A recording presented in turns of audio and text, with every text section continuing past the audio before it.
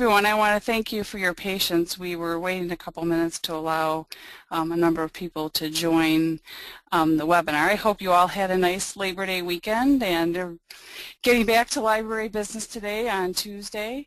Um, I want to talk a little bit about uh, patron problems today. We're going to address on a broad scale patron policies, um, dealing with the patrons, and how to handle um, not only interactions with the police, but also uh, your own internal uh, interactions with respect to appeals and other uh, other internal library uh, handling of these patron complaints.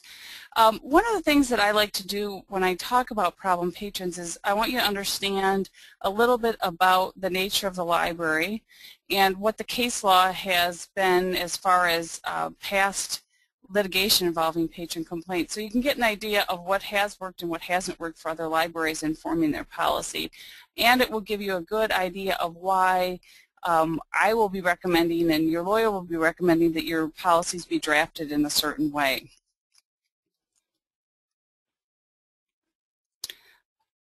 Let's see. One of the issues, the first we want to talk about um, is how to and bear with me a second while I'm trying to change the slide on this.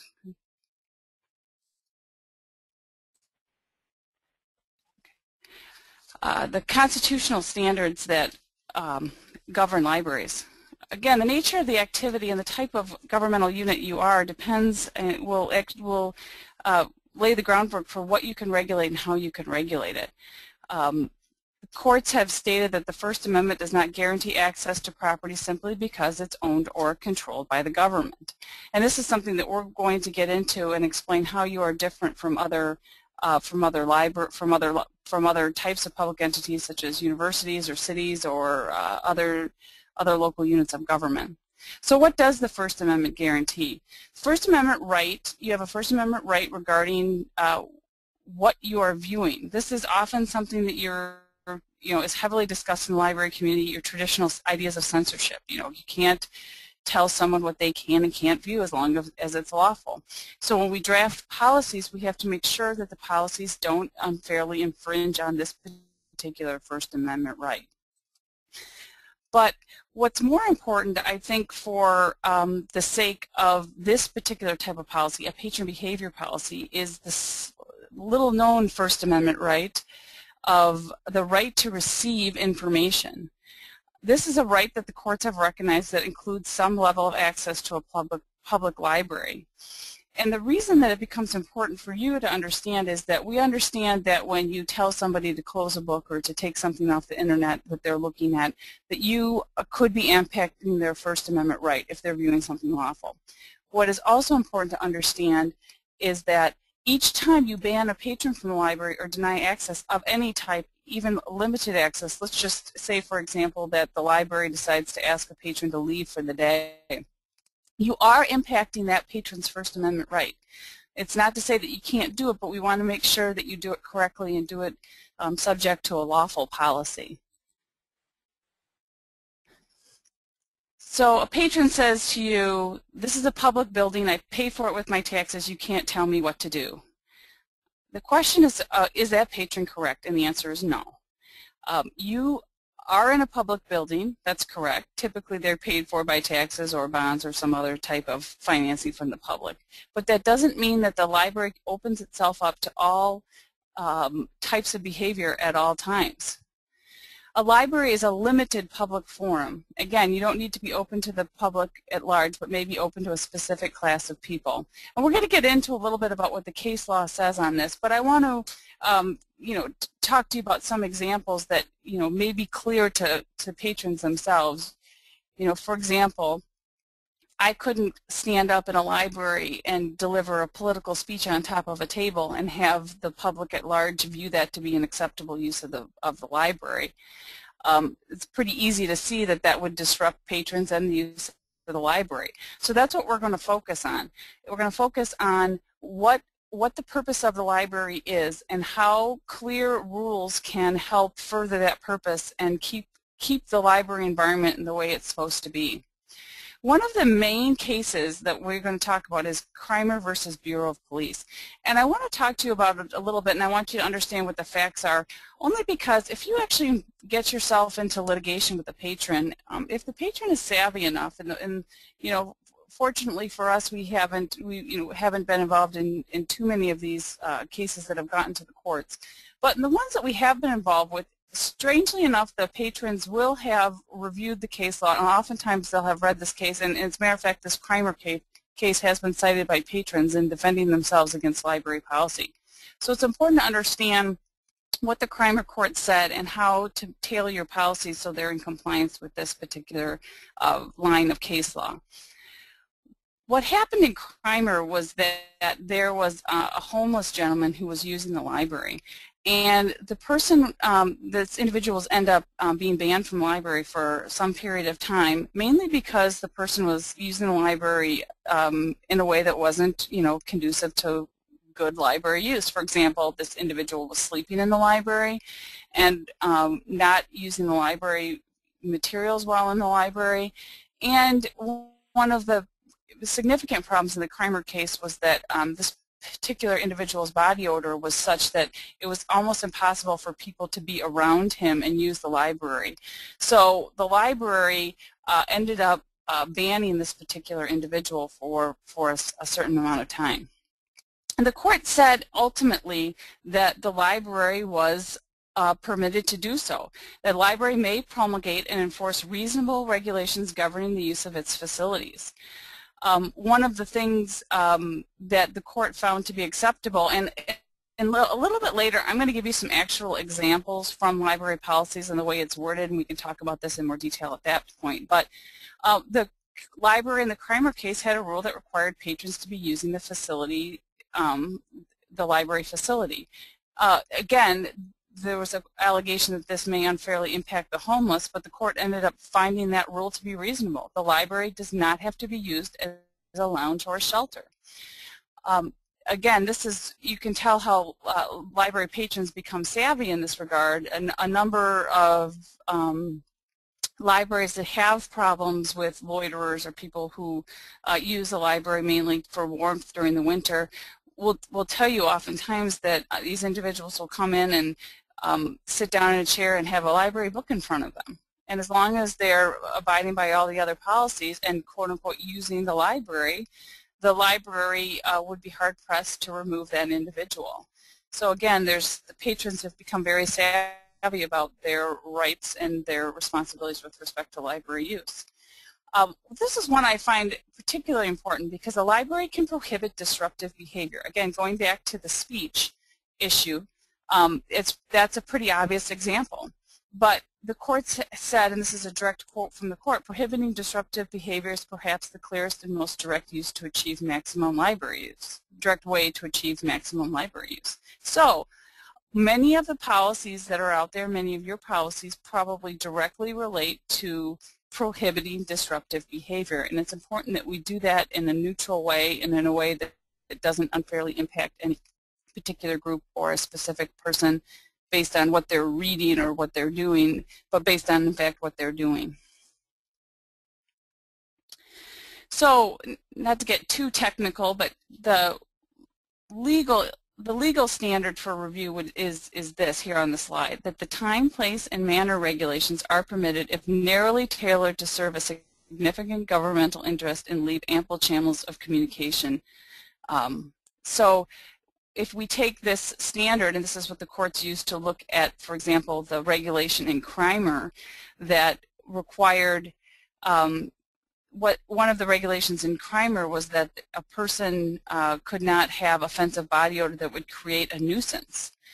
Um, the court again went back to look and said, you know, this goes back to disruptive behavior. It's this person's body odor is preventing other people from, you know, enjoyment of the library.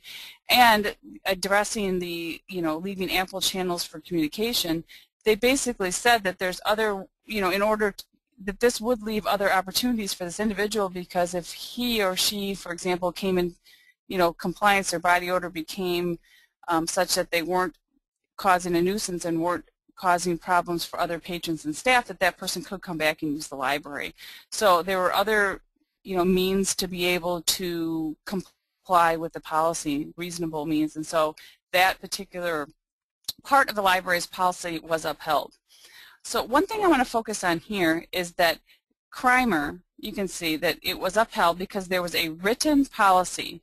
And one of the things that we haven't discussed yet, but we'll address in, in greater detail later, was that there's also an appeal procedure. Again, because any time that you are taking away one of those First Amendment rights, the right to receive information in a public library, you have to give that individual due process. And due process simply comes down to notice and the opportunity to be heard.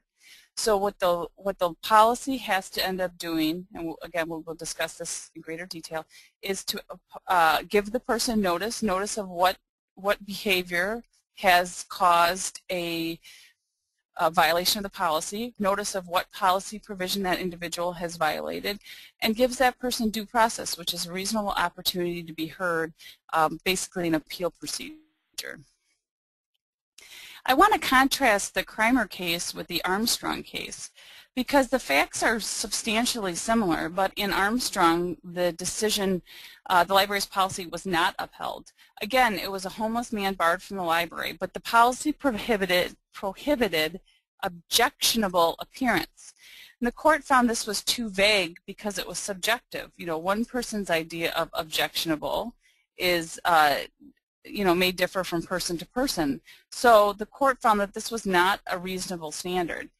Um, in contrast, you know, in, even in citing the Kramer case, they found the nuisance standard was objective because it has a legal meaning. Um, nuisance, you know, if you look up nuisance case law, there are objective or uh, objective standards to that uh, to that term, where objectionable was found to be too vague. So again, when you're reviewing your own particular individual's uh, or your individual library's policies, go back and look for words like that. Is it objectionable? Is it, um, you know, we see that, or improper, for example. Those are types of words that you really have to look at and say, is this something that we can apply um, an objective standard, or is it going to be too subjective based on the individual person who may be enforcing the policy? Also, another case we want to discuss is um, Brinkmeier versus City of Freeport.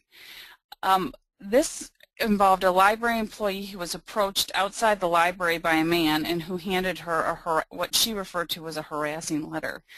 And we are we're going to get into what, what the library can and can't do as far as protection of employees because this is one of the areas that I see as the most, um, almost the most important for our library clients, making sure that their uh, staff does not feel harassed on the job and making sure that we can um, put some policies in place that prevent harassing behavior.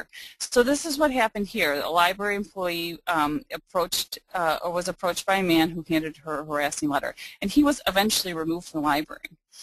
In this case, again, the court did not uphold the library's policy because it was an unwritten rule that the library prohibits harassing and intimidating patrons or employees.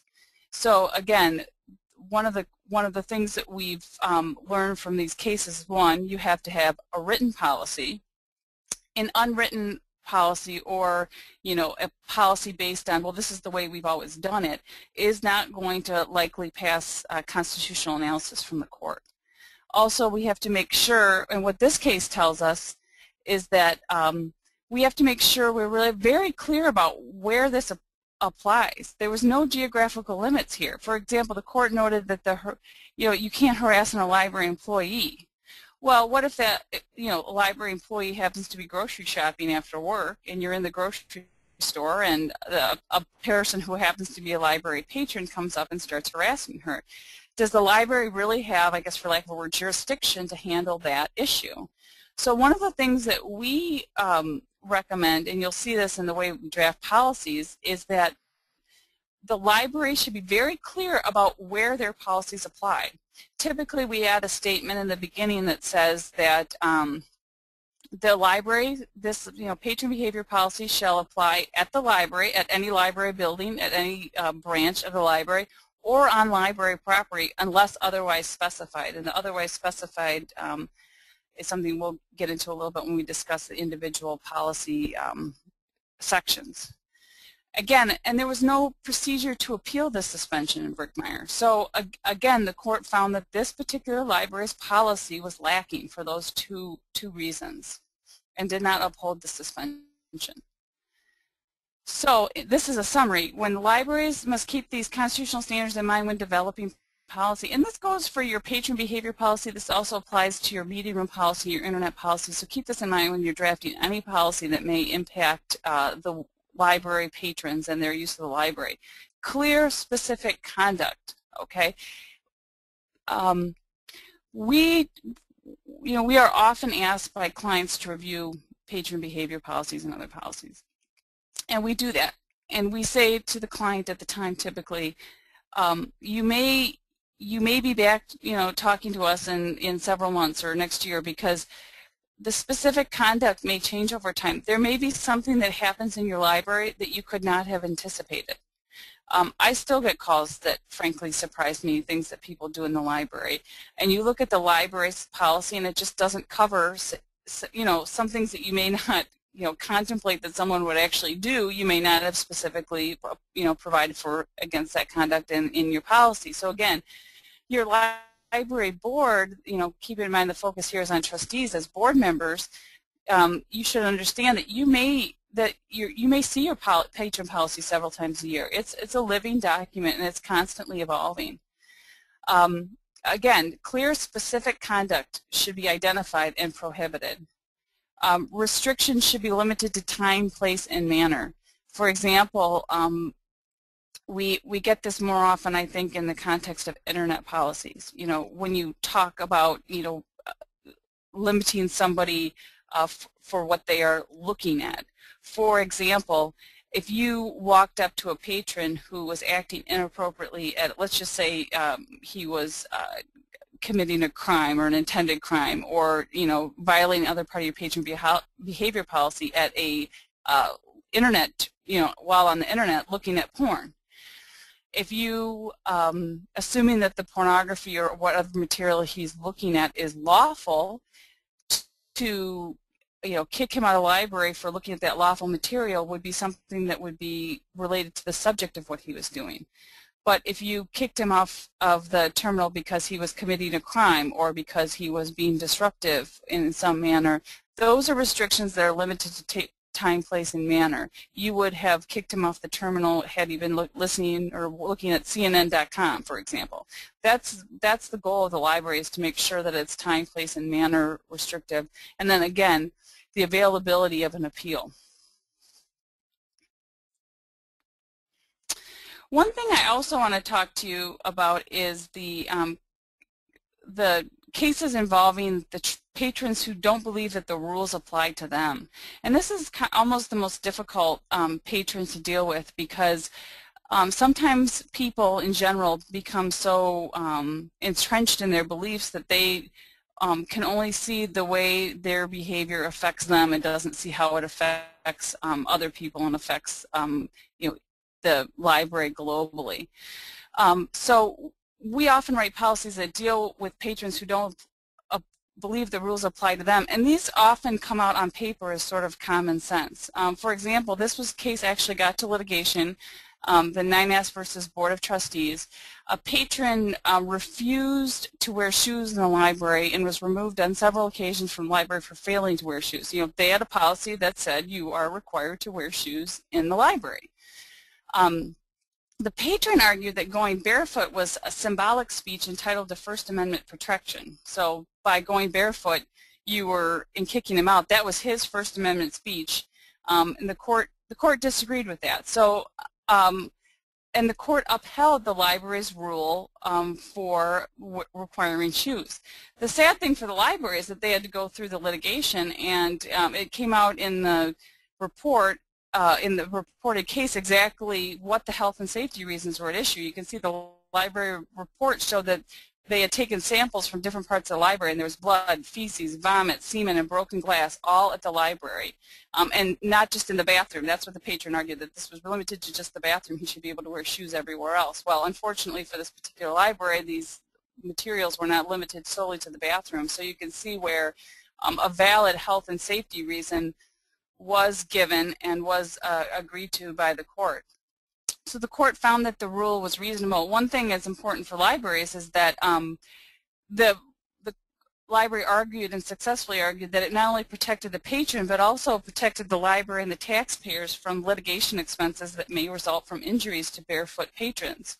So the library was able to look at um, look at its policies from a more global perspective, not only protecting the patron from him or herself or protecting other patrons from, you know, patrons, but also the library is allowed to look out for itself and protect itself from litigation expenses that may result from injuries in patrons' use of the library.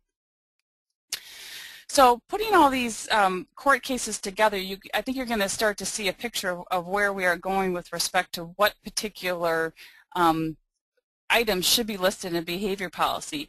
And this, this is not by any means an exclusive list of things that you should deal with. This is something that um, we, we were throwing out for discussion and for, you know, comments. Certainly if you guys have any questions or comments, you know, please post them. We're happy to deal with those as we go.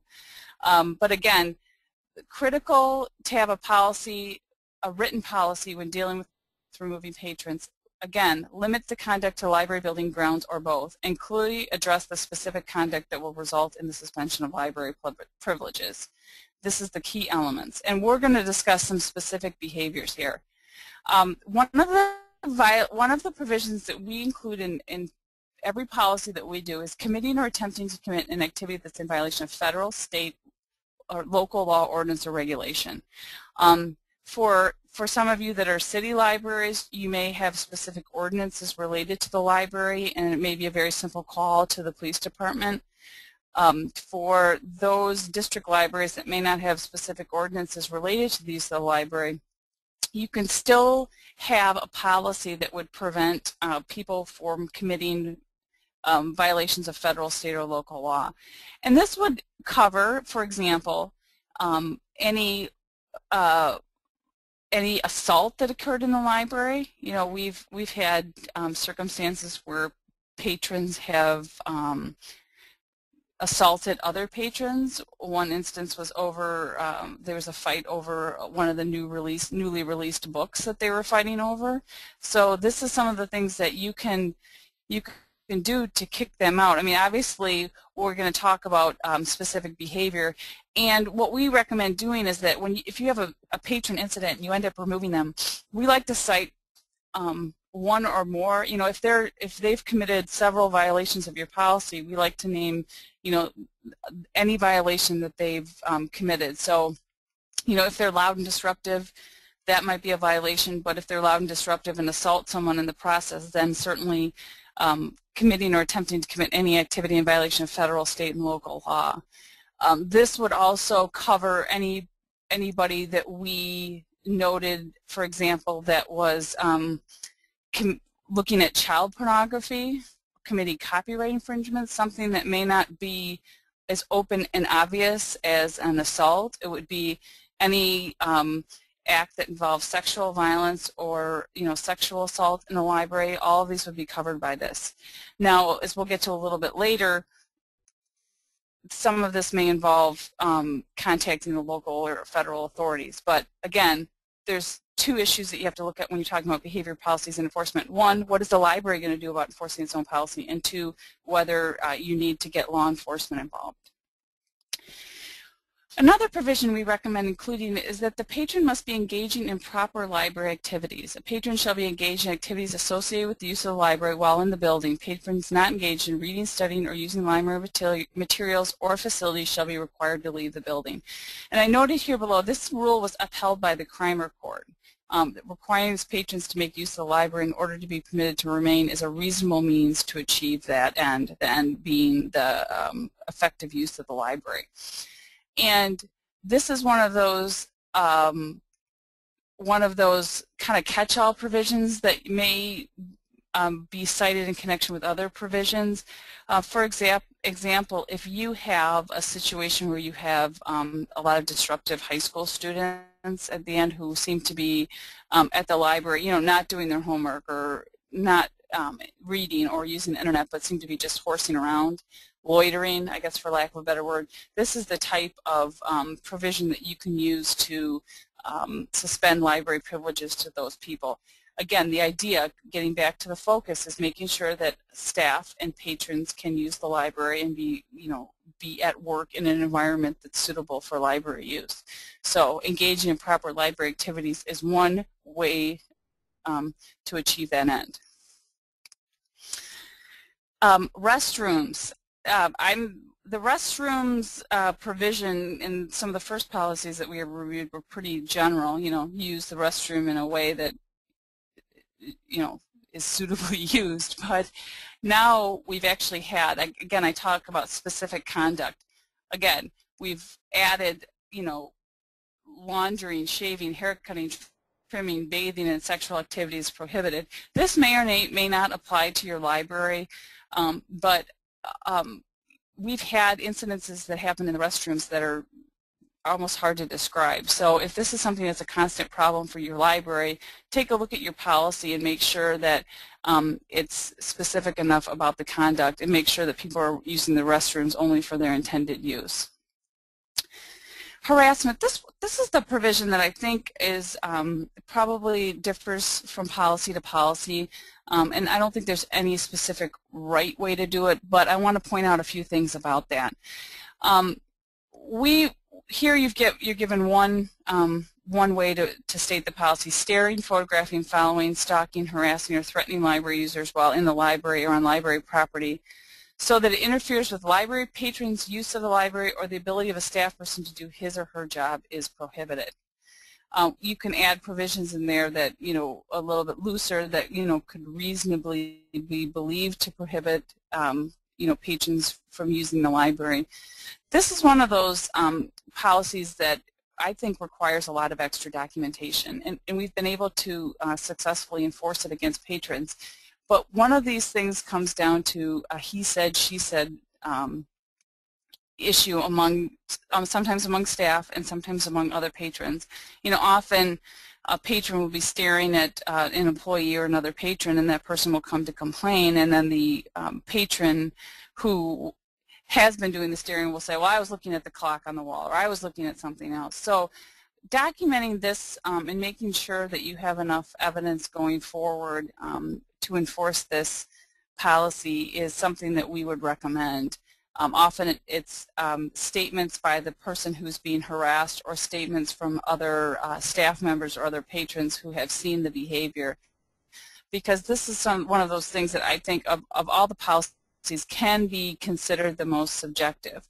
But I think it's also one of the most important because when you have a library, you know, because you're a limited public forum, means that basically as long as they're using the library in um, a proper way, you know, in conformance with this uh, with the library's policies and state law, the pa the patron's essentially entitled to stay. This is not like a private business where you can find someone kind of creepy or weird and you can just prevent them from using your establishment. It's it's not that way in a library. So, in order to properly protect your other patrons and your staff, you know, you can use this provision, but make sure it's documented and do um, do a thorough job as far as the investigation and any documentation you can um, find to support the statements of the person being harassed. This um, provision also addresses um, um also addresses um, you, uh, behavior with respect to staff, and it's this one's really geared only to staff and some of the particular problems um, that a person may have with staff, um, we get a, a, number of these calls. And oftentimes um, you can have someone who um, the staff member is afraid of or is fearful of or does not want to be in the same vicinity of. And this is one of those things that if that person's behaviors towards your staff um, prevents them um, from doing their job, they're going to be in violation of library policy. This is also to protect staff members from um, other types of patrons. You know, you may have the lonely patron who comes to the library and sits there all day. Um, the problem with some of these patrons is they may focus on one or more particular staff members, and the ones I've seen um, and it may be just the nature of the of the you know the the way the staff works together, but often they fix, fixate on a younger member of the staff, um, and sometimes this can be intimidating, especially if the staff person, you know, you know, is required to walk through the library or is, you know, shelving books or something like that, where that person is easily vulnerable to um, a patron monopolizing their time or um, trying to force the attention of that staff member on this person.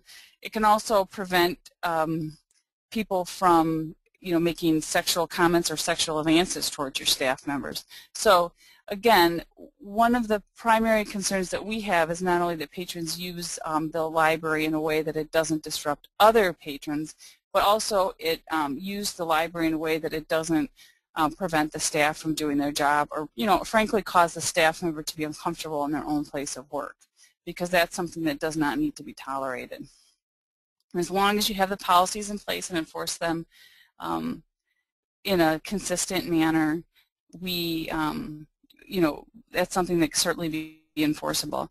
I see there's a question about um, patrons that may have some disabilities, and that's an excellent question, and I want to get into that. There's a slide on that a little bit later, so I just didn't want um, that question to be ignored, and remind me later if I forget it, but we will address that in, uh, in a couple minutes. Um, this this um, slide I like to say, I would have liked to have said is sort of unnecessary, these policies, it sort of states the obvious, but um, unfortunately we've seen incidents lately where I guess nothing is a little too obvious. Um, one of the things that we've recently added is patrons should not be permitted in any areas designated as staff only or in the or in the basement, for example, in this particular library, unless permitted by the library director.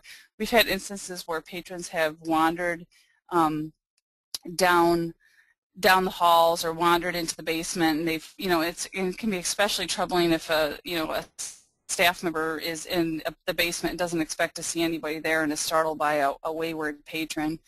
Um, again, this is important if you have um, patrons that don't know boundaries. You know, we, we had one uh, patron make the claim that they thought that this particular, um, you know, that places marked staff, marked staff only, it was like a yellow light, he said, that, you know, if, if he couldn't find anyone to help him, he could go in there. So it's something that you want to make sure that you're protecting your staff, that they have a place where they can go that, you know, patrons cannot just wander in and be permitted. And if they do so, um, they can be uh, asked, asked to leave or their privileges can be limited.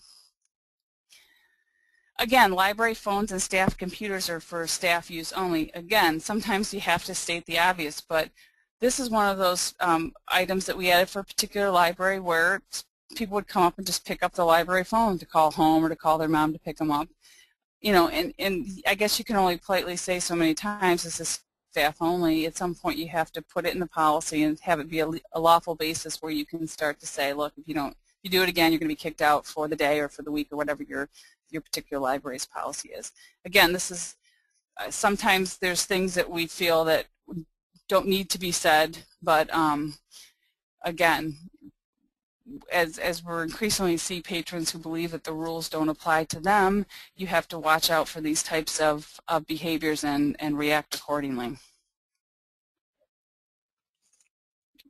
Um, producing or allowing any loud, unreasonable, or disturbing noise that interferes with patrons' use of a library or which can reasonably expect to disturb other persons.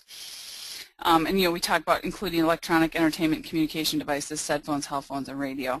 This is one of those areas that this loud noise is sort of a catch-all um, provision, and we actually recommend if you have a particular policy in your library for where some a person can use the cell phones or um, how that uh, individual, you know, whether they have to be on, you know, mute or whatever when they enter the library. I mean, I was just in a library on uh, Saturday myself where a patron um, you know, the cell phone went off, a couple rings, person stood up, answered it, started talking, and you know, walked out talking loudly on the phone. And you know, it's a smaller library. Everyone kind of looked up, and it's one of those things that it can be very disruptive. So if you have a particular, you know, use of the cell phone, you know, you have to keep it on vibrate when it's in the library. Make sure that's specifically um, stated in your um, policy.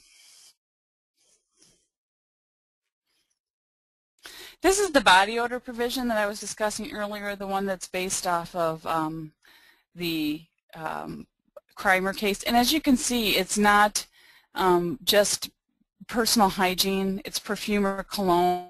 Sometimes that's more offensive to people um, than, you know, offensive body odor. But um, this, I went, I went, there was like a period of six months where I must have gotten five or six calls about this particular provision and adding it to a policy. So I know that this still can become a problem for, for libraries. And I almost think it's, it's, it, it, it doesn't seem to, um, you'd think it would impact maybe smaller libraries in a confined space, but it doesn't seem to um, the calls don't seem to come from one type of library or one area of the, of the state. So I think this is sort of a, can be an, an overall problem for the library. But again, you'll see that causes a nuisance. We have to make sure it rises to that nuisance standard and not just, you know, uh, you know, giving some, you know, objectionable or other um, subjective uh, criteria. Here's just a list of other um, policy provisions that I want to talk to you about. Um, food and beverages, uh, again, that's going to be something specific to your library, and it's really it really depends on on your particular library. You know, do you allow food? Do you allow drinks? Do they have to be covered? Do they have to be you know in the specific area? All this should be specif specified in your policy because if you have a person who consistently brings um, an open beverage to the computers and spills it and damages library property, you want to be able to um, enforce that behavior policy if it's a consistent problem that seems to um, you know, fall on uh, deaf ears uh, with particular patrons. Also, unauthorized use. Um, we this is one we recommend because um, there's a lot of patrons who we've seen refuse to leave at closing time or they walk in at five minutes to closing and you know want to just check out one small thing. Um, also, one of the issues we had is that we had a patron that kept coming back to one of our client libraries while on suspension. And um, although it seems again, like we're stating the obvious that if you've been suspended, you can't come back to the library. We wanted to um, have the ability to have um, other um, other um, suspension or other um, violations to kind of add on to the time so that that person couldn't basically infringe on their suspension and then expect to come back within the original time that they were gone. Alcohol, drugs, obviously using drugs, open alcohol at the library would violate most laws, but you also want to be able to protect the library from somebody who may be on um, alcohol, you know, or under the influence of alcohol or drugs. Um, smoking, obviously smoking has become a huge consideration. Smoking in the library no longer really an issue, but we get a lot of calls about smoking outside the library. And, and, at this point we have found, unless there's a local ordinance or something that um, really um, you know, dictates what you can and can't do as far as public building, public um, facilities in your area, it's really going to be particular to the library. You know, some libraries want people to smoke only in a specific area outside. Obviously, you know, consider um, having the situation where you know the smoke won't come into the library may disturb the library. So that's one of the things that we recommend that you address in your behavior policies. Obviously shirt and shoes because of the case we previously discussed, that's something should be included. Um, handling, soliciting, and campaigning. Um, these are some um, issues that I want to talk to you briefly about. But we recommend, especially when you talk about campaigning, that you get advice from counsel on your particular library because there's no um, hard and fast rule about this. This is one of those issues that we that we talk about, um, you know, limiting behavior or addressing behavior in the library or outside the library. So, for example, um, most of the policies that we draft have a provision that says you can't campaign in the library. I think you can see where it's reasonable that, you know, going up to people when they're trying to read a book or a magazine and asking them to sign a petition or to, um, you know, listen to your political views would be um, something that would not be conducive to library use. campaigning outside the library is a different matter. And I have a personal opinion on it that I'll share with you, and then it's something, though, that I specifically would like you to talk to your own counsel about because it often depends on where your library is, how it's situated, and where it is, in, frankly, in relationship to the public sidewalks. But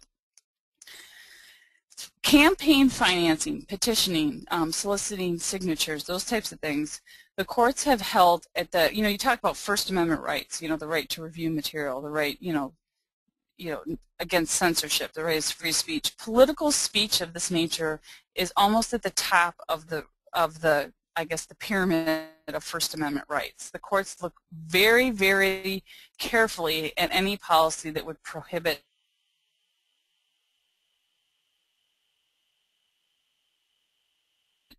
prohibit campaigning and those types of things on public property on public sidewalks especially.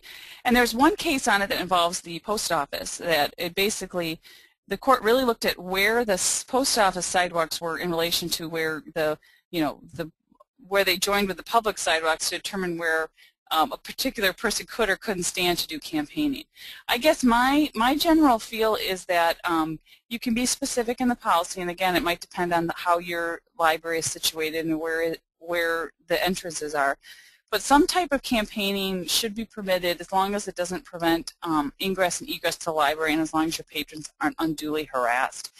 And the other thing you have to be very careful of when you talk about campaigning is that the political groups often collecting signatures, some of them are professional, and they often have a very good handle on what the law is. So if you go out there and say, hey, you can't campaign at the library, take your, you know, take your petitions to the local grocery store, they're you know, 9 out of 10 times they're going to know that there's something wrong with that analysis. So again, this is one of those things that I talk to your talk to your attorney about and draft some language in your policy that addresses that. Because at the same time, I know especially around election season, campaigning can become a real patron issue. You get a lot of complaints. People don't want to be harassed. They don't want to be approached. And and those are genuine concerns. But again, that's one of those things that uh, you, I really recommend that you talk to your counsel about.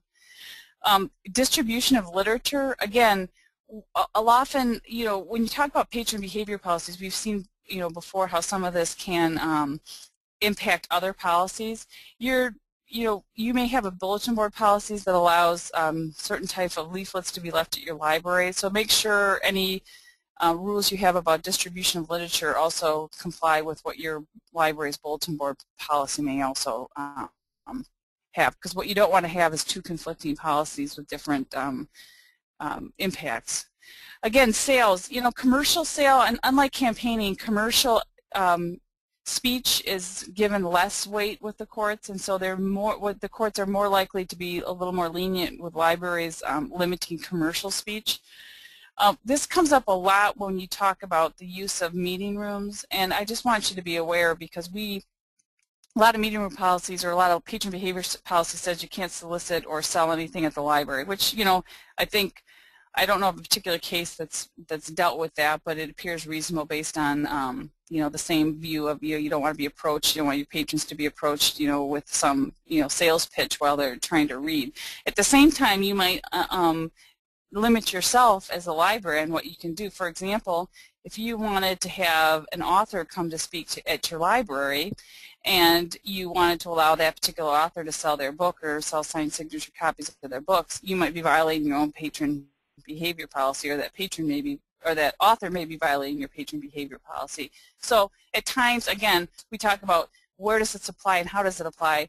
Um, at times we exempt the library um, and the library's programming from some of these provisions because you want to make sure that under a proper um, uh, under the proper situation that you allow some maybe incidental sales if they're uh, incidental to a particular library program at the library.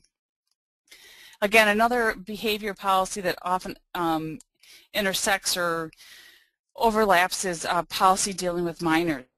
Um, and minors become a really, I think, a tough challenge for libraries when it also comes to enforcement because you, I know I've seen libraries struggle with, well, what's the appropriate age for allowing a minor to use the library by um, himself or herself?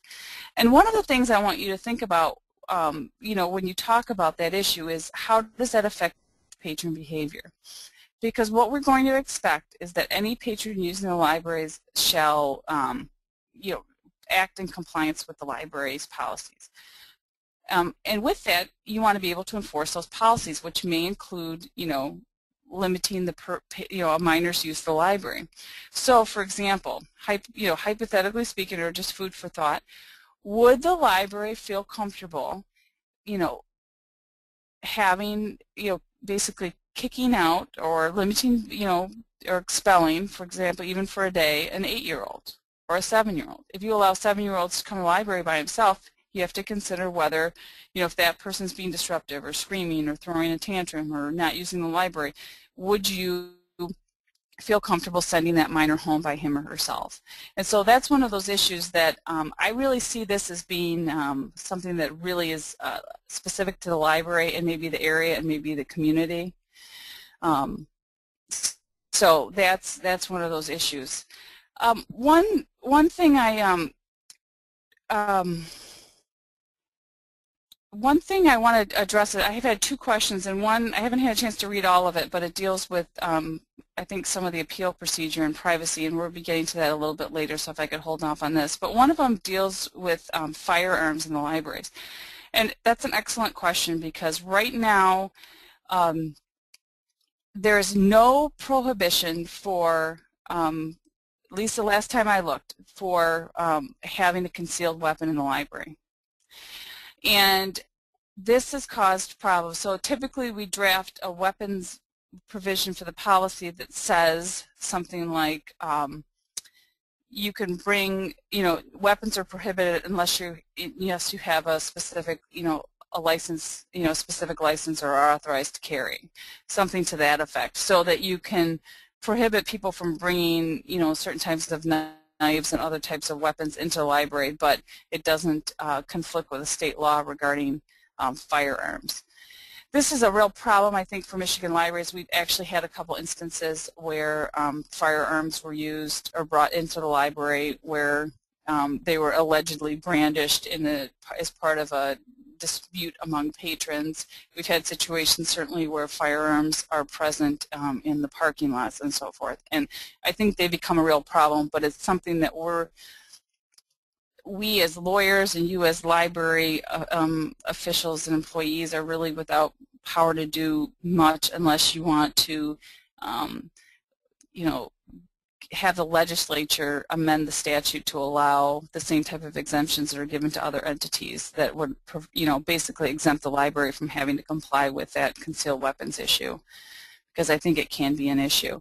Other times where, um, and again, addressing back to the patron behavior policies, um, you know, there, there, there are going to be policies where you're going to have to do exceptions. That's one of them. The other is um, bringing animals into library. You can prevent people from bringing their, you know, pocket pets in their purses um, unless that pocket pet or other animal is a service animal. Service animals are specifically permitted in, you know, by law in the library. So again, when you're talking about um, enforcement of policies and drafting policies, there are going to be um, general rules, but they're going to have to be because of the law, and typically they're because of the law, that the law has granted exceptions, exceptions for concealed weapons and exceptions for service animals that might impact your, um, your policies and the way they're enforced. We talked about violations, enforcement, and appeal. So I, that was the, basically I just covered kind of the policy, what your policy should imply, comply, and, and why you should review your policies to make sure they have those provisions in there or make sure they're addressed. Um, there are going to be provisions of the policies that are violated that don't rise to the police level. And what I'm going to cover is really essentially three topics. One of the topics is what does the library do and how it handles the appeal and library privacy issues involved with that. I'm going to talk about two types of um, issues involved with police, and they're sort of similar, so I want to be clear. One of them is um, addressing issues you may uh, encounter if you have to call the police. Okay, the library has to call the police and say, look, we have an incident over here. Um, we need your help, but we, we have to be clear about what, what you can and can't uh, tell the police because of the Library Privacy Act. And then the third part of the enforcement is really um, dealing with um, issues if the police come to you first about issues with your patron con um, your patron um, conduct in the library. For example, the um, patrons using your computers for illegal activities. Um, one of the, so getting back to the first part, this is we're talking about library enforcement appeals, something that um, that doesn't necessarily ri um, rise to level of police involvement or something that you're doing in conjunction with police involvement. Because if the police end up arresting someone and um, prosecuting them, it's technically, um, you know, when we've had police police officers say, say to these patrons, you're not welcome back at the library. Well, typically they, you know, a lot of times they don't come back. But if they do come back, um, that really doesn't have the force of law with respect to what the library can do. So the library may have to conduct its own enforcement and appeal provision um, in conjunction with the with the police investigation. Um, and when we talk about enforcement of these policies, one thing I want to talk about, and a very good question was raised about that, is medical issues. Um, the Americans with Disabilities Act impacts libraries. Um, when when um, you have a medical issue, it gets very complicated. And this is one of those cases where I do recommend that you have um, get your lawyer involved because at some level, if they you have to assess one whether they actually have a medical condition that falls under the Americans with Disabilities Act. And if they do, you have to figure out whether you can um, reasonably accommodate their disability. And a lot of this is very very um, touchy. Okay, so for example, if you have someone who has maybe Tourette's and, and screams and is disruptive, um, there may be things that you can do to, um, you know, be able to accommodate that disability without having to um, um, you know, remove their library privileges because that's something that could get very serious if you remove their library privileges in violation with the Americans with Disabilities Act. I think that's going to be a real problem for the library. So that's one of those things that um, you may have to, um, you know, get get your lawyer involved and get you know involved at an early stage to see see if there's something you can do because again I don't think the Americans with Disabilities Act requires you to um, you know, prevent, you know, endure every sort of behavior for an extended period of time, but it, you, you, do have to give more leeway in the form of accommodations to people who fall within the Act, and that's one thing. Again, it's really a case-by-case -case basis to see what's going on, how it violates the policy, and whether reasonable accommodations can be made. So I think that was the one of the questions. Um, make sure yeah. So again, I, I, would I would talk to your lawyer talk to your lawyer and see what what if any reasonable accommodations can be done to um, to um, accommodate that patron. In in conjunction with that, there's a question about um, smoking medically permitted marijuana um, and complain of the smell. How do we handle that? Uh, again, that's an interesting question. Um, my understanding of the medical marijuana laws doesn't, this is just off the top of my head, so I think it's one of those things, if, the, if this is your problem, you should consult with their lawyer, but I don't believe it protects the person from smell. I think if that person, um, you're not you're not going to be kicking them out because they smoked medically permitted marijuana, assuming that's in compliance with state law. But if they have offensive odor, offensive body odor, I guess to me it doesn't matter whether it's because of cologne or because of marijuana or significant um, smoke or because they haven't taken a shower in a couple weeks. I think it could all fall under that same um, provision with the offensive body odor provision. And, and I do not believe at this point that there's anything that, that protects um, even people who are medically permitted to smoke marijuana from um, you know, being able to, to smell of marijuana. So I think that that offensive body odor provision would still apply. Let's see.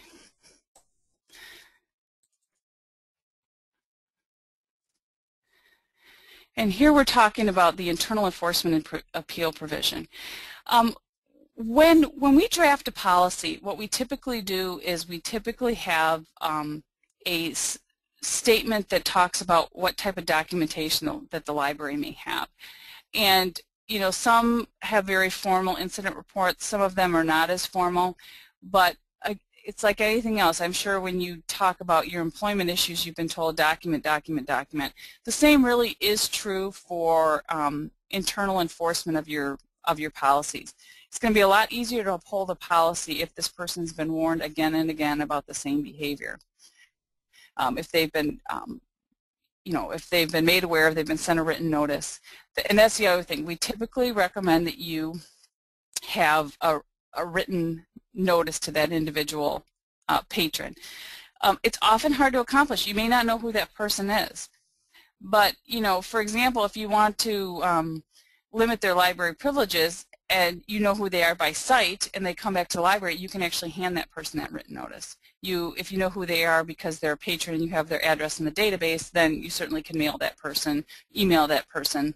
Um, but written notice is, is the ideal type of um, notice that we recommend, just so that they, and we typically recommend that you include a provision of your um, policy in, in the in the letter, and, and often we have to be fully, um, to make sure everything's, you know, beyond, you know, reproach, we often indicate that they have the right to appeal so that they know that they have the right to appeal and that they can exercise that right and not have to show up to the library board two months later and say that they didn't know.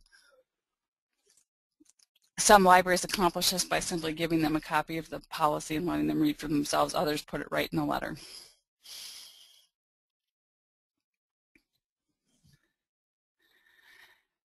Um,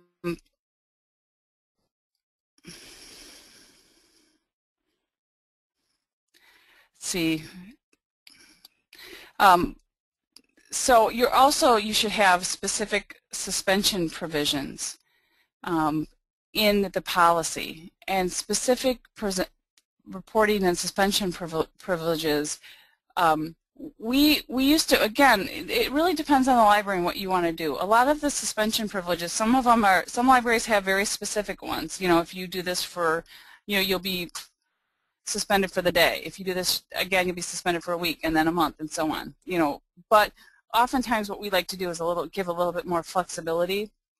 And that, we have also found that um, having specific append we have two different types of suspension provisions typically in policies that we draft. One for um, you know privileges that affect the safety, security, you know sexual um, assaults and so forth, and then other ones that don't. You know, I think there's a huge difference in my mind between um, the library's response to a um, incident involving someone bringing, you know, spilling the pop at the computer terminal versus um, someone looking at child pornography or, you know, committing, a, you know, a lascivious act at the computer terminal. I just don't think, you know, someone who does something that's severe should be able to be kicked out for the day and then you have to wait. I guess my thought is do you have to wait for them to watch child pornography again before you kick them out for a more extended period of time?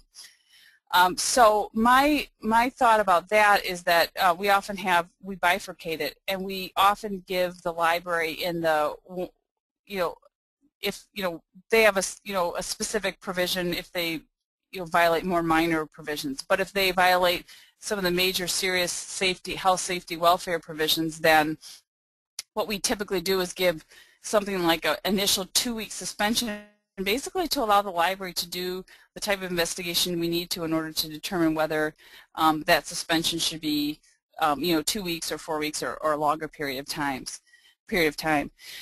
So um, we we talk about being very careful about privacy issues during the appeal and um, what we typically do is we don't um, um, we don't have a what we want to do is to make sure that the library itself doesn't violate any library privacy issues, okay? Because the library, um, the Privacy Act prevents library employees and agents and officers from revealing information that would be subject to library privacy. So this becomes kind of tricky when you talk about a patron appeal, but what we like to do is have the library be beyond reproach with this issue. For example, um, I'll give you an, kind of a hypothetical. If you have let's say you have a patron that's been kicked out of the library for um, harassing, you know, another patron at the library. And um, that person feels offended. They were wrong. That's not something they did. Um, you know, they they were unfairly targeted by the library. And let's just say they go to the newspaper and say, I was targeted by the library. They kicked me out for this. Okay? No violation of the Library Privacy Act has occurred. So um, what the library has to be very careful about this, especially if the patron himself or herself has made their name well known in the community with respect to this issue. What we do is we we still have the library maintain privacy as if nobody knows that patron's name. So if the library, um, what the library's agenda should say is um, patron appeal, you know, for example, 2011-1. Hopefully you only have one for the year or two for the year. But um, and then we refer to, you know, that patron will be referred to, you know, patron in appeal number 2001-1. And the reason that you want to do that is because um, we've seen, at least in one case, where um, one of the allegations is this particular patron was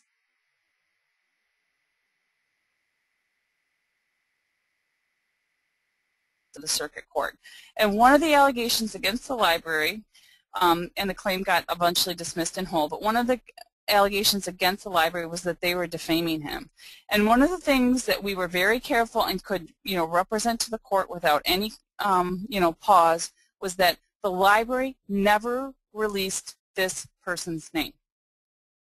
So um, that's one of those things that I think as a library, you, you need to think about this in advance because sometimes we've seen it where it's kind of too late, you know, that they've, the library has listed on the agenda that, you know, Mr. Joe Smith, for example, is appealing his suspension. In that case, it may be a little bit too late um, to maintain the confidentiality. So that's why we want to talk in the training session to make sure that that person's name is kept out um, to the extent possible because, again, you want to prevent that person from, from either claiming you defamed him or claiming a violation of the Library Privacy Act.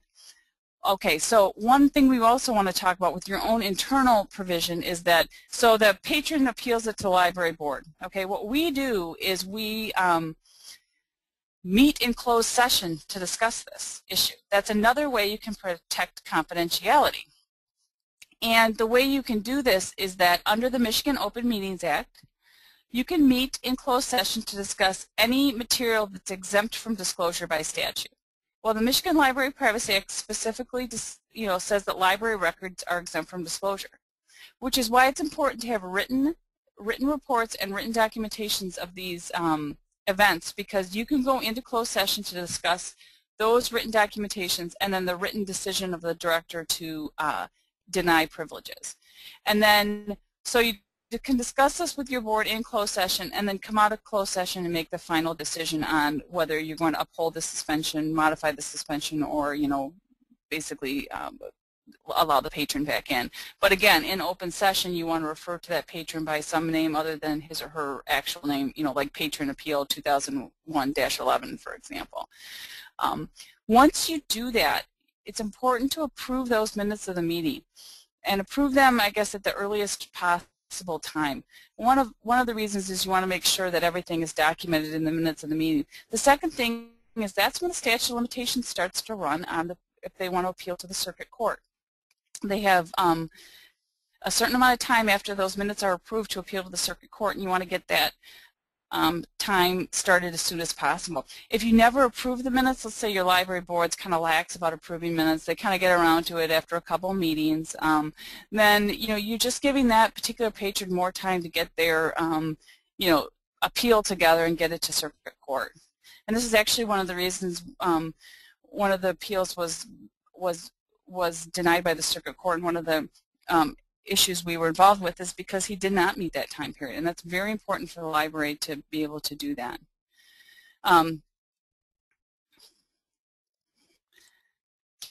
so that we had a question about um, Library Privacy Act and whether, and I think it goes along with this section about whether people appealing fees goes to the township board um, again, the Library Privacy Act only covers um, the library, its employees, and agents, so I'd have to see about the way that that's drafted, but typically the library is not going to be, going to be able to um, control what the patron says or what other you know, people respond to that. So um, I don't, again, the question was, does the patron give up his or her privacy in such appeal? You know, I think it's certainly a defense, and I think that would be certainly something we would argue if that name got out out, but my my thought was the, the library should do everything it's possible to prevent any library record from being disclosed. And so I would not, even if that name becomes public, I would still treat that person as confidential with respect to the appeal procedures and through, you know, at your library board level. Make sure that the library does what it can to keep that name from being released by the library or its, um, its officials or employees.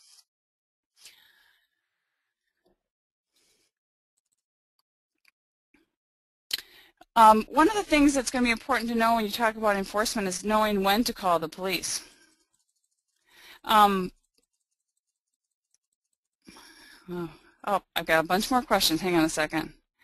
Um, let's see. I didn't see these. If you bear with me one second. Um,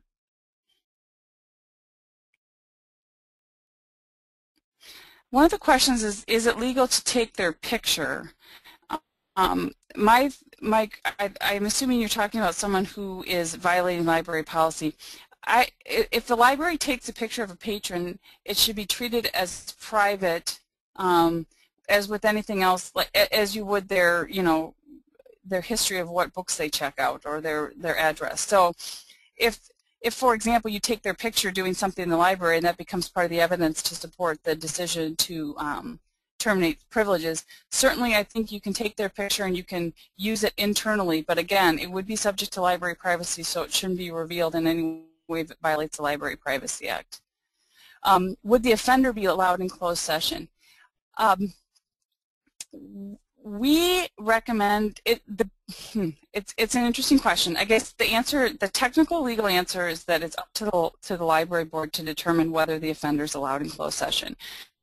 Um, anybody can be asked in closed session as long as, as long as it doesn't violate the particular exemption here. And I think allowing the patron to be in closed session wouldn't violate the act if the as long as the um, information being discussed relates only to that particular patron and wouldn't violate any others any other person's library privacy rights.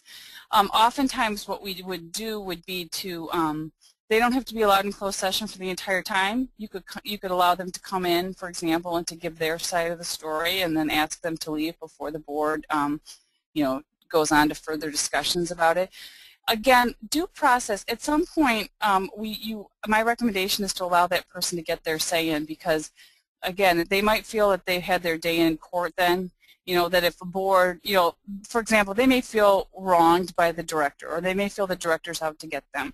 But sometimes when they're faced with, um, you know, a you know, a, you know, five, seven, eight members of a board, and in the particular board has listened to the story, and all of the board is in agreement with what what should have happened, then I think, um, then I think um, certainly um, that may prevent further appeal. It may not, and we've seen that it, you know, especially if you have a patron again that doesn't that doesn't understand that their behavior is offensive or that their behavior is in any way wrong. It's not going to help to have the appeal. They might, you know, go directly to the circuit court after that. But allowing the offender in closed session, I don't think would violate the Library Privacy Act. I don't, if it's just about their records, I would not violate the Open Meetings Act. But it is a decision of the particular library board. Um, and there's a question about patron coming to library board meeting to appeal a suspension and speak at public comments. Would the meetings of the um, violate library privacy laws? My huh, my thought with that is, and that's something. It depends on. I would I would talk to your attorney at the time. But typically, if someone comes and reveals their own conduct at um, and, and talks with their you know talks you know, it says my name is I, my name is Anne Seurynck, and I was you know kicked out of the library for you know drinking a beer in the library. If I reveal that myself, it's not a violation of the Library Privacy Act. I don't see anything wrong with it being in the minutes. So just I would just be kind of careful about the issue, be extra sensitive to it, and you may want to seek um, library counsel, um, you know, opinion before you publish the minutes. Um, again, going back to the, um, I think we've covered some of these. Um, going back to the enforcement, you know, knowing, knowing when to call the police. If there's a crime that's been committed or you think there's a crime being committed, um, you know, call the police. You know, don't don't worry. I mean, I get this a lot from clients. They say, well, I don't know if there's the evidence is going to be there. The person ran out the door. You know, they won't know who it is. Well, I, I think to get the to get it on record and you know to get to call the police and say you know someone was assaulted in the library and then the the you know perpetrator ran out the door. You know the the police may or may not be able to eventually catch and prosecute that person, but that's not something that the library should really be concerned about. The library should be concerned about maintaining the safety and integrity of the library environment. And there's also um, confusion I've noticed regarding enforcement of policies and a patron's right to privacy. Um, I've I've actually had someone tell me that they um, um, had there was a, a, man who they believed to be um, masturbating in the library restroom, and because they because of Library Privacy Act, they didn't want to do anything about it because of his privacy. Well, that I don't want. I want to be very careful about that because what that individual was doing was a crime, and it's not protected by the Library Privacy Act. And the person doesn't have a right to do that in the library. So, again, I think you've been very, um, you know, well read and very well informed about privacy issues and protecting patrons' rights. But it, there are there is a limit to that, and I want I want people to understand that so that they know that it is appropriate to call the police when there's those types of activities occurring at the library. Uh, and I'm giving you what a definition of a library record is um, so that you can um, understand what this is because often when you get the police involved, the first thing they're going to do is to say, well, I want to see the um, surveillance tapes or I want to see the, um, the, the checkout records. For example, if someone punches a patron in the face and then, you know, checks out a book on the, you know, on one of your, you know, self-check stations and runs out the door, you know, the library, the police might say, well, well, who was it? You know, we can figure out who that was. You, you know, we saw that they checked out a book at 4:30. So you have to understand that a library record that would be considered part of a library record. And even if you ask the police for help, they're still going to have to comply with the Library Privacy Act. Um, and what that means is, is that they are going to have to get some sort of court order in order to obtain that information. Um, what is not a library record? Um, personal observations of patrons and personal observations of staff. So the patron, the staff member can say to the um, to the, in the, giving the example of the person who punched the other patron and then did the self checkout, the staff member can say, um, I observed an individual strike another individual in the face. Um, he checked out, um, used the self check machine, and then he ran out the door. That's personal observations of staff. Um, anything that involves the library record, you know, the, the, the information, you know, on the, you know, the checkout machine, for example, would be considered part of the library privacy and would require some sort of court order. Um, the, and so you should understand the procedures for obtaining that court order um, before the incident occurs. Um, you must obtain that court order, and you also have the ability to um, uh, have an opportunity to be heard by the court before you disclose that. Um, it's a little tricky because if they come in with a search warrant, those search warrants are immediately executable. Um, so those are the things that um, those are the things that you might want to discuss with your attorney ahead of time. But here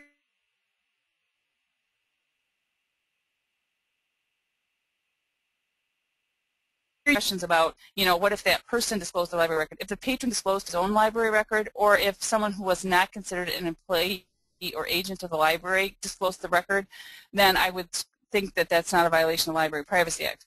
Getting back to the question about the township board, which was a little bit harder for me to answer because um, I don't know if the board of the township is considered an agent of the library with respect to their collection of fees, and that's where you may be very careful about what the township should disclose. So again, the Library Privacy Act applies to the library, employee, or an agent of the library.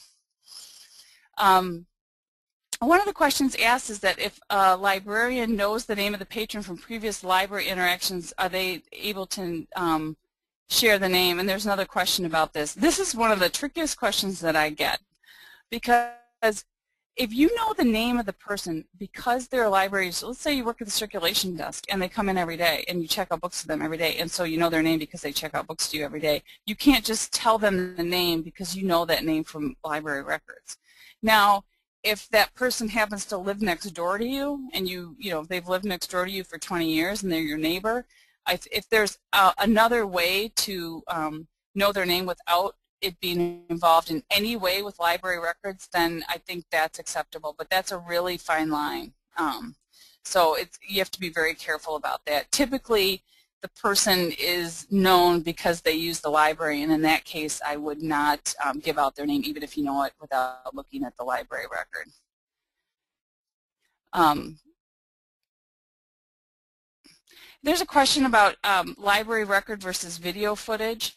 Um, there's, and this, I think there's a couple uh, questions about um, security or about security footage. I'll, I'll give you my opinion again, my opinion may not be the same as other other lawyers, so this is one of those things to check with other lawyers.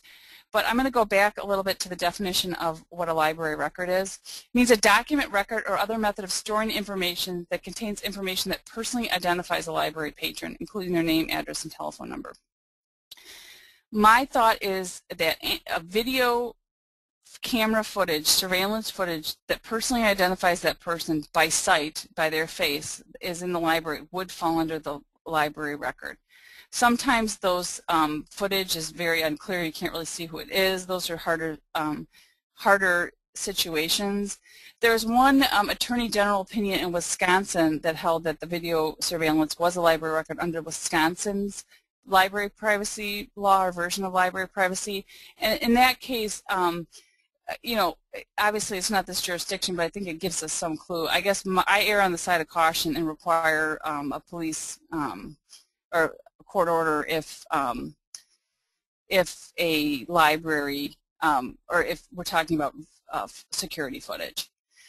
Um, and there's really, uh, getting back to some questions, there's really no definition of the agent of a library. You'd have to go back to what common law agency is, and I think we, that's one of those things where you'd have to kind of look at what their role is. Um, um, you know, if you hire, for example, if you hire a collection firm and you give them information to collect fees, I think those would be considered agents of the library. Um, and there's a question about library privacy plays when library policies specifically say that the staff will cooperate fully with the law enforcement with regard to any crimes. I think the, the policy should probably read in that case to the extent permitted by law because um, if your policy says you're going to fully cooperate, but the Library Privacy Act, which is state law, says they have to have a court order first, I think you're going to, you know, your policy may cause you to be in compliance or in um, conflict with state law. So that's something I I take I take a look at the way it's worded and make sure that it's consistent with state law. Um, what is a proper court order? Um, anything signed by a judge, obviously, is a court order, judge or magistrate. Um, we've we've been a little bit um, again, this is something that you need to get your own lawyer's opinion on, but if you look at the Michigan court rules, they talk about subpoenas being an order of the court, and it's not specifically defined. So oftentimes um, we consider subpoenas at this point to be court orders, but we'll often go through um, the motion to quash or go through the hearing um, if we have a subpoena from another lawyer that's not signed by a judge um, to make sure that the court eventually orders um, release of those documents. So if you receive a subpoena, that's one of those decisions you're going to have to make with your board and with your lawyer as to whether you comply with that subpoena or you um, move to have it quashed or you enforce your ability to have a judge um, take a look at the subpoena, which is which is allowed under the Michigan Library Privacy Act. And I just want to plug, we're talking about a lot of privacy issues here. I want to plug our, um, our upcoming seminar um, in October. We're going to be doing a similar seminar on library privacy. I believe it's on the 11th and then we're going to send out notice, and then November 10th we're doing employment. So we'll get into this a lot um, also in, in that seminar, get more in depth into the library privacy issues.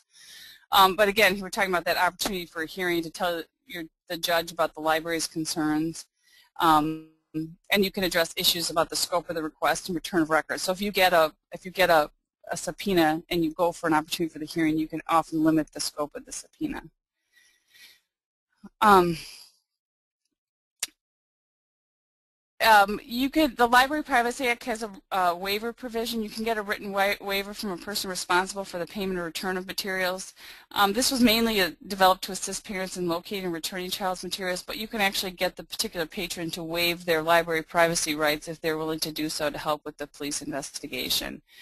The penalty for the Library Privacy Act is um, um, civil action for actual damages are $250. I'm not really sure what actual damages would mean in every context. That's why, you know, sometimes people say, well, I'll pay the 250, you know, give me the documents, I'll pay the 250 if that's all it takes. Well, I don't know what actual damages are. If someone, if you improperly release, let's say you're dealing with someone who's um, committed a crime in the library. That's the violation of Library Privacy Act. You, you caught them viewing what you called you consider child pornography. You gave out the name. It got leaked to the papers. The guy lost his job. I mean, I you know I, I don't mean to be too overly sensitive about this, but I don't know what the actual damages would be in that case. That's why I think the $250 um, may be a little misleading um, plus reasonable attorney's fees. If you if you end up in litigation, any of you who have ended up in litigation knows it can be expensive. I mean, it, it can be you know thousands of dollars, tens of thousands of dollars. So it's not one of those things that I would take lightly based on the $250. And and I I'm, the reason I point this out is that I often get that comment from the police. Oh, oh, just give us a document. We'll pay the 250. Ha ha ha. It's not a big deal. Well, I think that you have to be considerate of that issue. Um, this this slide, is, and we're running out of time a little bit, so I may not be able to get through all of this. But the, the next, the slides will be available um, on our website, and we'll be sending out a notice with all that information after the seminar, so you'll be able to get a full copy of the um, of the materials. You can also um, listen to it on our website again, or you can send it if you're you know, a member of a board and want your other board members to look at it, or if you're, you know, staff and you have other people that are interested, it will be available. You just have to sign up and you can listen to it at your at your convenience. um, this is the third issue of police involvement that I wanted to talk about with if with your patron behavior issues. You may get contacts by the police that you don't know. You may you may get contacted by the police about a patron and you might not know there was even a violation. This happens most often with computer crimes um, the police have um, heard that someone sends a threat, for example, over your internet, or someone is looking at or allegedly looking at child pornography over the internet. Um, you should have a procedure in place that deals with that that complies with the Library Privacy Act because you know when you deal with your own in internal investigation or you're getting prepared to call the police, you often have your ducks in a row before you make that call. You've figured out what you're going to do, tell them what they they need that court order for you and you, have got the backup. But you, you may be faced with a situation, your patron does something in the library that you're not aware of. The police may come to your door and ask for the documents. So it's important to understand what that what information you can and can't give out. So determine who's going to respond to those, who's in charge. You know, the director's not always going to be there. It's who's who's in charge when the director's not there, the assistant director. What what's the chain of the command? Um, who should be contacted? Your attorney, if, if you have outside computer consultants. Um, make sure that um, there's always someone there that can assist you with that type of information. I swear these people come at like 6 o'clock too, or right before closing, or, or on a Saturday often. So um, it's not like they come at you know 10 o'clock on a business day often. So um, you know, keep in mind who, who, who would be involved. You know, who would be the, in the chain of command at any particular point that you have. Um, the person in charge to understand how to access the records.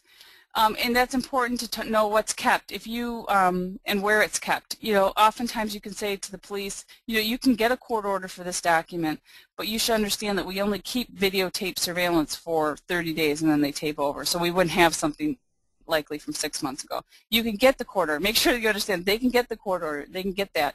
But, you know, our internet records, you know, are basically destroyed or take, you know, every time we shut off the computer at night. So understand how, how the records are kept, um, and do you need a special computer uh, a specialist? You know, I, I'm pretty computer illiterate, so I would need a lot of help.